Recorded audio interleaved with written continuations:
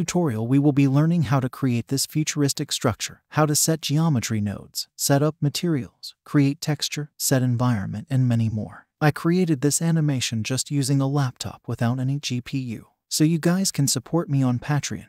Project files will be available there. Let's start by deleting everything. Go to Edit, Preferences, Add-on, Search Add Mesh Extra Objects. Enable it. Now Shift A. There are extra mesh. Add a single vert. We are in edit mode. We can now extrude it as we want. So let's start. Numpad 7 for top view. And create the geometry you want. Select both and click F to fill. Select all and extrude on the z-axis and create a 3D building-like object. Scale down and press F to fill. This surface is flat. Add a loop cut and grab it outside.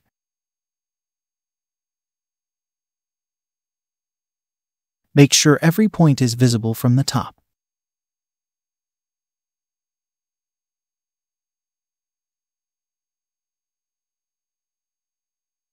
Now I have created an entrance to go inside by just extruding a face.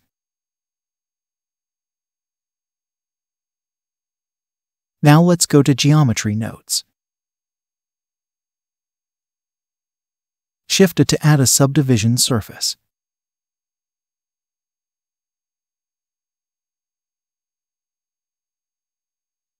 Increase the division times.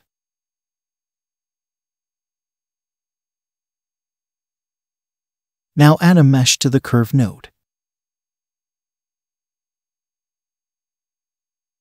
And one thing. I extruded the top surface inside the building to add more geometry.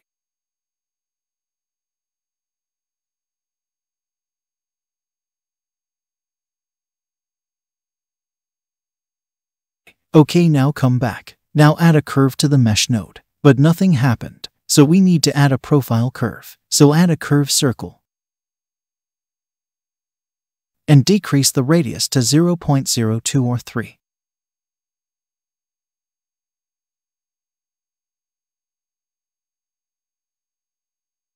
Now we need the faces as before for window panels, so add a join geometry.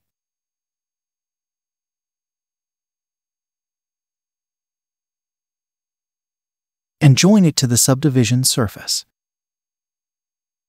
Now we got them, but we want some random faces. So let's delete some faces. Add a delete geometry. It will delete them all, but we want to delete some randoms, so add a random value. And add to selection. Change the float to Boolean. Now set the probability as numbers of panels.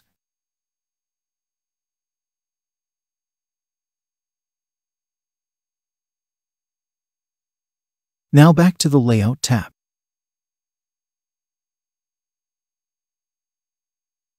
I created these materials white and blue.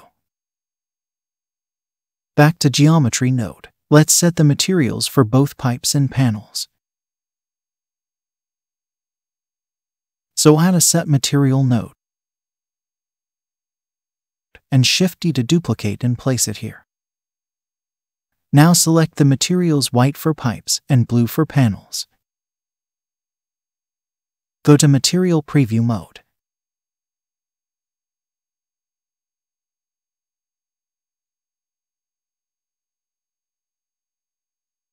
In the Render Preview mode, I added a light. Go to World Properties. Change it to an environment texture and open a HDRI background. But I don't want to see the background, so go to Render Properties, Film, and Transparent. Set World Properties Volume to Principled Volume. Lower the density. It will create fog.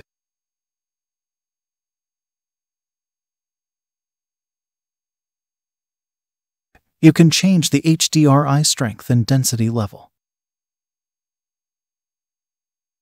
Now let's add texture to the ground. Select the plane and go to the Shading tab. Add a Voronoi texture and a bump node. Add normal to normal and color to height and color to roughness. Increase the scale to make it smaller. Change it to a dark color.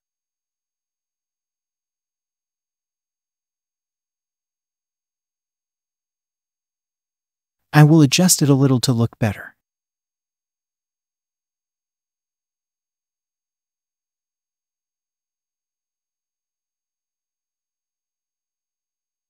Now I will import a car I have downloaded for free. Link will be in the description. Now add a camera and position it at the entrance to the building.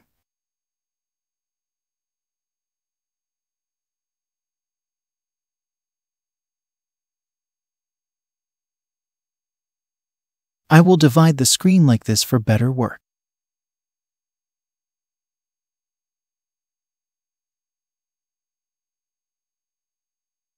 Now select the camera and press I then rotation, location and scale to add a keyframe.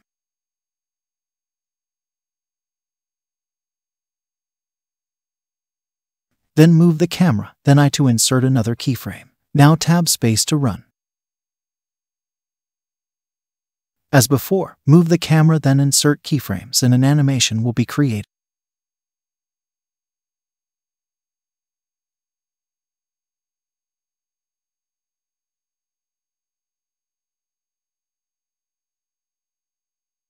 but the camera may not focus perfectly to the point. Then you can add an empty.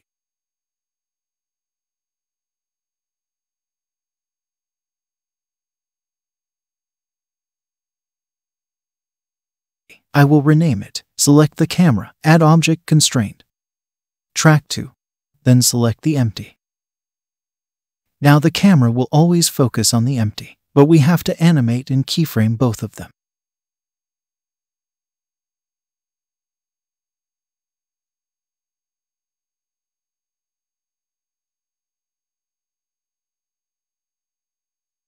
so I will keyframe them.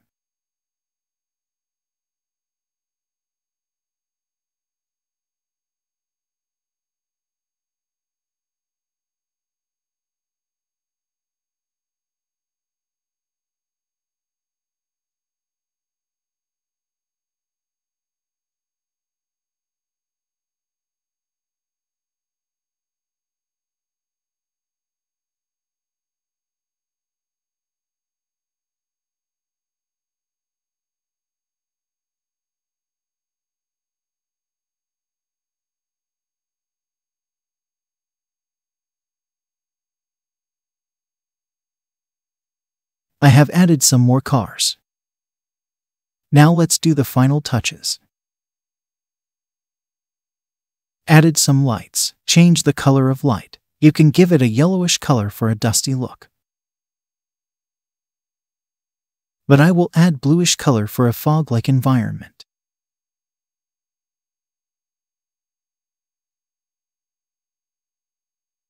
Let's add a color ramp between roughness and Voronoi texture. Now you can control the reflection amount.